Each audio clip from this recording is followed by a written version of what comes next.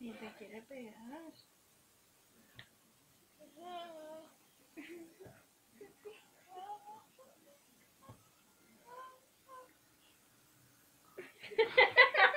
Mejor te ganó el pelo.